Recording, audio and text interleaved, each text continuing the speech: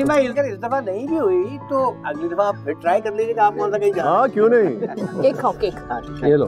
ये हमारे खामखा के स्टार कुछ काम कर लो ये सारे गिफ्ट जो हैं गाड़ी में शिफ्ट करवाओ। अंकल आज तो हम भी नए घर में शिफ्ट हो रहे हैं। मैडम पहले गिफ्ट शिफ्ट कर लेते हैं फिर हम भी हो जाएँगे। शायद जाओ अरे खबरदार किसी चीज़ को हाथ लगाया तुमने। अरे डॉलर को मत डांटे ना। डॉलर आप एक काम करो जाओ। मन्नू की गाड़ी में सारा सामान रख दो। चले हमें इजाज़त दीजिए अब हम चलते हैं। और आप सबका फिर से बहुत बहुत शुक्रिया। ऐसे कैसे जाओगे भाई? अभी केक का है अब तो चाय पीने का टाइम हो रहा है इतना खूबसूरत मौसम में। माला इलायची वाली चाय हो जाए। क्या हुआ? चाय का सुन के रुक गए ना? इलायची की खुशबू ने रोक लिया। अरे भाई चाय ना होगी पुलिस का नाका हो गया कि रुक गए। लेकिन अच्छी बात है रुक गए भाई केक के साथ चाय तो बहुत अच्छी है। भी इलायची वाली। चलें भाई चाय बनाते हैं। जी जी। बाबू भैया खाने का भी इंतज़ाम किया हमने। हाँ, बहुत मज़े की? आई है लेकिन पहले चाय हो जाए।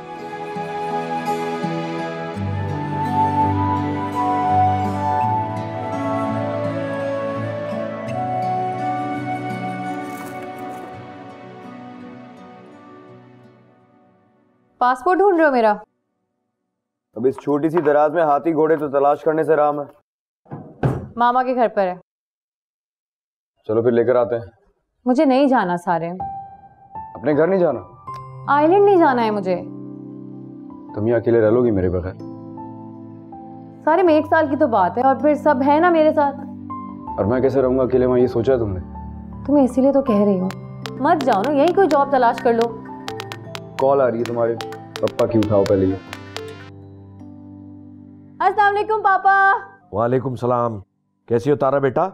एक ज़रूरी बात ये कहनी है कि तुम्हारी माँ की अगर कॉल आए ना तो बिल्कुल उससे बात करने की ज़रूरत नहीं है। फ़ोन मत उठाना। क्यों? क्या हुआ है पापा? अरे तुम्हारे खून की प्यासी बनी घूम रही है वो न्यूयॉर्क की रोड्स पर। अरे ऐसा क्या हो गया? अरे पता करवा लिया उसने अपने सोर्सेज से कि तुम्हारा एग्ज़ाम पास नहीं हुआ। क्या? एग्ज़ाम पास नहीं हुआ? हाँ बेटा उसके अंदर की चुड़ैल जाग गई है। तुम्हारा लहू पी जाएगी इसलिए दो चार दिन बात मत करना उससे। ओके? टेक केयर वैसे मैं हूँ ना? ओके मेरी जान। जी। भाई बहुत बहुत मुबारक हो फेल हो गई आप। मुझे पता था यही होगा तुम्हारे साथ। चाँद भैया आ जाए। वो ना आशु भैया जा रहे हैं अपने नए घर। बेटे बहुत लकी है वो।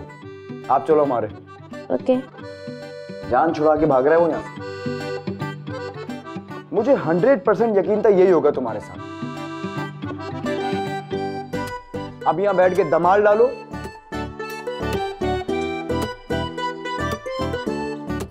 अच्छा खासा करियर था, अपने करियर पे डब्बा लगा लिया, फिर उन्होंने का